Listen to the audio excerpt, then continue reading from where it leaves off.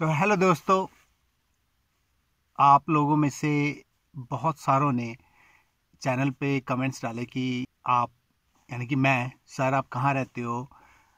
अपने बारे में ज़रा बताओ, कभी फेस टू फेस आओ। तो इसी सिलसिले में आज ये वीडियो मैं बना के आपसे रूबरू होने की कोशिश कर रहा हूँ, आपके सामने आने की कोशिश कर रहा हूँ। तो मेरा नाम संदीप है और मैं यूके में साउथ वेस्ट का इलाका तो वहाँ मैं रहता हूँ फैमिली के साथ। आ, मेडिकल फ़ील्ड में काम करता हूँ और साउथ वेस्ट में जो एरिया है इसे टोरबे के नाम से जाना जाता है। तो काफ़ी पॉपुलर एरिया है। बहुत से लोग आते हैं यहाँ घूमने के लिए हर साल और ख़ास करके जुलाई, अगस्त, सितंबर में काफ़ी पैक रहता है ये एरिया। बहुत सारे होटल्स वगैरह हैं यहाँ पर। तो इस वीडियो में मैं आपको कुछ जगहों को दिखाने की कोशिश करूँगा, जैसे कि आपको फील हो कि किस तरीके का एरिया है ये। और इंडिया से मैं यूपी से बिलोंग करता हूँ, गाज़ियाबाद से। और गाज़ियाबाद से मैंने अपनी हाई स्कूल की पढ़ाई भी की, हिंदी मीडियम जिसे कहते हैं हम। तो उस मीडियम से मैंने पढ़ाई की थी। तो ये जो चैनल है, ये ख़ास करके मैंने इसलिए बनाया था कि जो भी, चाहे वो किसी भी मीडियम से पढ़ते हों, अगर इंग्लिश में उन्हें कोई सहयोग हो सके मेरे द्वारा तो मैं उन्हें सहयोग करने की कोशिश करूँ। तो चैनल का मेन पर्पज़ यही है। और जैसा भी मैंने वीडियो बनाए हैं, अच्छे या ख़राब तो वो, उसके पीछे जो मेन मकसद था वो यही था कि शायद किसी को मदद मिल सके। और अगर देखने वालों में से कुछ थोड़े से लोगों को भी अगर मदद मिलती है मेरे वीडियो से तो मेरे चैनल का पर्पज़ पूरा हो जाता है। आज लगभग पैंतालीस हज़ार के आसपास सब्सक्राइबर्स हैं और धीरे धीरे संख्या बढ़ रही है और शायद फ्यूचर में चैनल और भी अच्छा करे अगर आप लोग इसके साथ रहते हैं। तो ये एक जो है, एक मोटिवेशन भी देता है चैनल कि चलो, थोड़ा सा ही प्रयास सही, लेकिन वो प्रयास जो है किसी के काम आ रहा है। तो चैनल का मेन मकसद यही है। तो ये डेवन एक इलाका है उसमें एक जगह है टोरबे नाम की। तो वहाँ रहता हूँ मैं अपनी फैमिली के साथ। तो ये एक सी साइड टाउन है। एक टूरिस्ट एरिया भी है बहुत लोग यहाँ आते हैं क्योंकि आ, सी साइड टाउन है और इंग्लैंड में जहाँ पे धूप बहुत लगती है उनमें से एक जगह पे ही है। ठीक है? तो चलिए मैं आपको कुछ सी साइड दिखाता हूँ यहाँ की जो फ़ेमस है। तो अभी हम चल रहे हैं मीट फ़ूड की तरफ़। मीट फ़ूड एरिया है टोरकी में।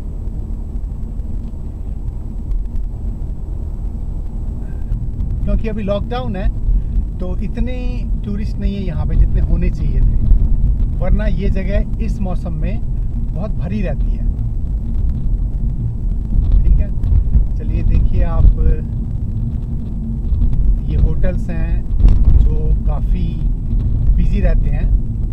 ये देखिए इन्होंने रोड क्लोज़ कर दी है सी साइड के लिए, क्योंकि अभी शायद जाना अलाउ नहीं है, क्योंकि अगर अलाउ करेंगे तो बहुत सारे लोग जो हैं सी साइड की तरफ़ निकल पड़ेंगे और गवर्नमेंट नहीं चाहती कि ऐसी कोई बात हो। तो इसलिए रोड को क्लोज़ करके रखा हुआ है और यहाँ पे आप देख सकते हैं बहुत सारे होटल हैं। तो अगर आप पैदल आए होते तो शायद जाया जा सकता था सी साइड की तरफ़, लेकिन क्योंकि मैं कार में हूँ तो नहीं जा पाऊँगा। तो चलिए यहाँ से मुड़ते हैं। दूसरी जगह भी है सी साइड की, लेकिन ये एक अच्छा इलाका है यहाँ का, जो कि अपने व्यू के लिए बहुत ख़ास है। तो ये देखिए, ये हो गया यहाँ का एक एरिया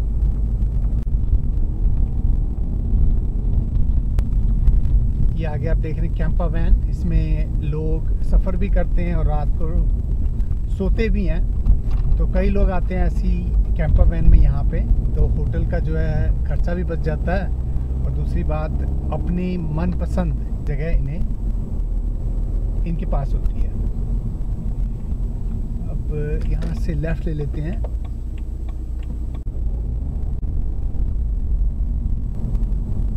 अब आगे आप देख सकते हैं कि जो समुद्र है, बहुत अच्छी तरह से दिखाई दे रहा है आपको। थोड़ा और पास चलते हैं, देखिए। थोड़ी ढलान है तो ये जो जगह है, ये पहाड़ियों पे बसी हुई है। तो बहुत सारे ऊपर और नीचे जाने वाले रास्ते हैं यहाँ पर। तो थोड़ा आराम से चलाना पड़ता है गाड़ी को।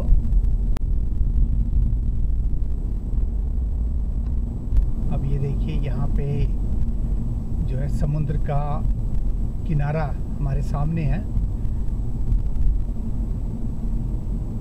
चलिए यहाँ एक जगह पार्किंग में थोड़ा रुक के आपको मैं दिखाता हूँ कि कैसा है यहाँ पे।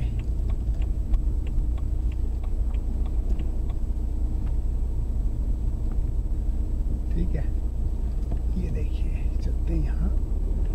तो ऐसी जगह ले जाना चाहूँगा आपको गाड़ी में कि आगे जो है समुद्र आपको साफ़ दिखाई दे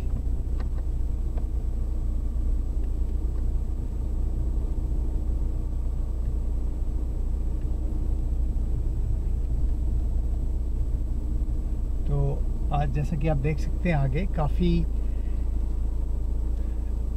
खुला एरिया है समुद्र का। और ये जगह भी बहुत ही ज़्यादा भीड़ भाड़ से भरी रहती है जब यहाँ पे लॉकडाउन नहीं था। स्पेशली ये जो मई, जून, जुलाई और अगस्त तक जो है, ये एरिया टूरिस्ट से भरा भरा रहता है। बहुत जगहों से लोग आते हैं, काफ़ी लोग जो है इंग्लैंड स्कॉटलैंड वेल्स जो है यहाँ दूसरे जो रीजन्स हैं वहाँ से भी बहुत आते हैं लेकिन इसके साथ साथ ही यहाँ पे इंटरनेशनल स्टूडेंट्स बहुत आते हैं जो इंग्लिश सीखना चाहते हैं। तो उनमें से कई जो है मिडिल ईस्ट से आते हैं। आ, कई बार आपको बहुत इंडियन भी यहाँ पे दिखाई देते हैं जो घूमने आए होते हैं। तो बहुत ही फ़ेमस जगह है घूमने के लिए। ठीक है? चलिए अब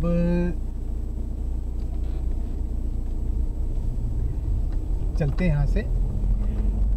और इस जगह की एक दूसरी बात यह है कि यहाँ पे कुल मिला के लगभग 2500 के आसपास होटल्स हैं।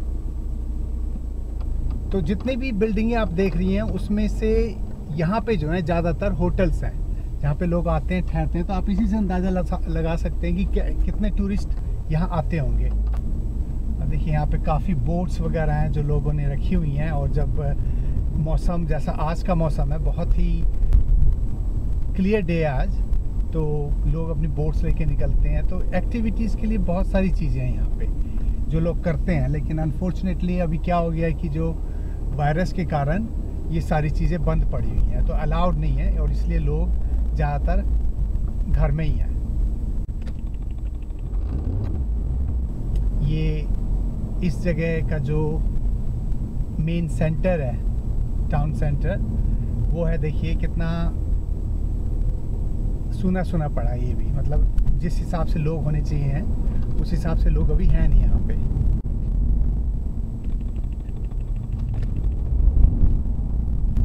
और ये जो जगह है यहाँ पे, ये थिएटर्स हैं यहाँ पे। सी फ्रंट के आगे जो घूमने की जगह है, वो है यहाँ पे। कुछ गिफ्ट शॉप्स हैं। तो काफ़ी लोग यहाँ आते हैं, बैठते हैं। आइसक्रीम ली, बैठ गए या पॉपकॉर्न लिया, बैठ गए। कई लोग है, समुद्र में नहाने के लिए चले जाते हैं।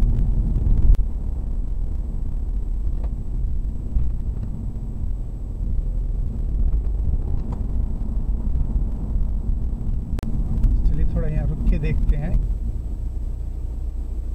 अच्छा ये डिसेबल की है तो यहाँ नहीं पार कर सकता मैं। आगे चलते हैं। आज वैसे और दिनों से थोड़ी ज़्यादा भीड़ है यहाँ पे। इतनी भीड़ होती नहीं है, लेकिन आज थोड़ी ज़्यादा भीड़ है और ये शायद इसलिए कि मौसम काफ़ी अच्छा है। तो कई लोग जो हैं अपने घरों से निकल के आए हैं बाहर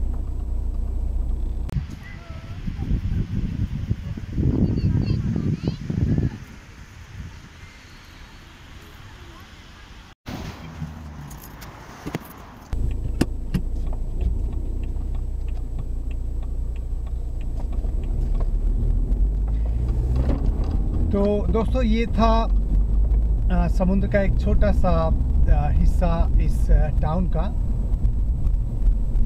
आज फिर भी दूसरे दिनों के मुकाबले काफ़ी लोग यहाँ पर मौजूद थे। वरना बहुत ही सुनसान हो गई थी जगह ये। तो अब लगता है धीरे धीरे शायद यहाँ पे भी जो लॉकडाउन है गवर्नमेंट धीरे धीरे करके खोले उसे। और इनमें से जो कई लोग थे आ, वो ऐसे थे जिन्होंने कहने के बावजूद ये बीच पे आए, क्योंकि मौसम जो है इंग्लैंड में काफ़ी ठंडा रहता है। तो जब ऐसा दिन आता है तो लोग अपने आप को रोक नहीं पाते। तो इसीलिए आज शायद थोड़ी ज़्यादा भीड़ थी। ये यहाँ का जो राइट में जब हम टर्न करते हैं तो जो बिल्डिंग आती है, ये फाइव स्टार होटल हुआ करता था यहाँ का। तो बहुत ही फ़ेमस था, लेकिन अभी शायद ये भी बंद है, क्योंकि बिज़नेस है नहीं यहाँ पे कुछ भी। और इस होटल के ठीक पीछे जो है यहाँ का रेलवे स्टेशन है, जहाँ से आपको इस देश के दूसरे हिस्से में जाने के लिए ट्रेन मिल जाती है, जैसे लंदन, स्कॉटलैंड वगैरह।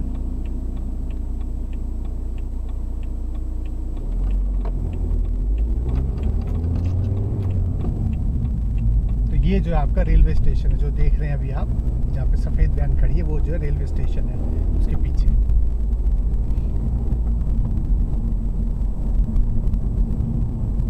आप देख रहे हैं कि आज मौसम ठीक है तो देखिए जो लोग हैं, बहुत बड़ी संख्या में बीच की तरफ़ जा रहे हैं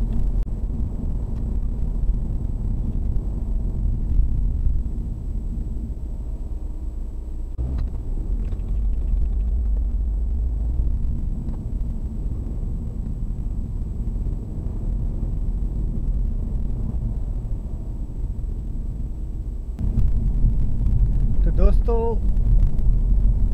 ये था एक छोटा सा इंट्रोडक्शन उस जगह का जहाँ मैं रहता हूँ। और इसी बहाने आपको भी इस जगह को दिखाने का जो है मौका मिला मुझे।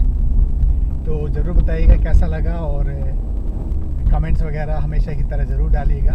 और अपने एक्सपीरियंस बताइएगा कैसा है आपका लॉकडाउन कैसा चल रहा है, क्या कर रहे हैं आजकल, पढ़ाई वगैरह कैसी है? ठीक है? तो चलिए आज के लिए इतना ही। फिर मिलते हैं आप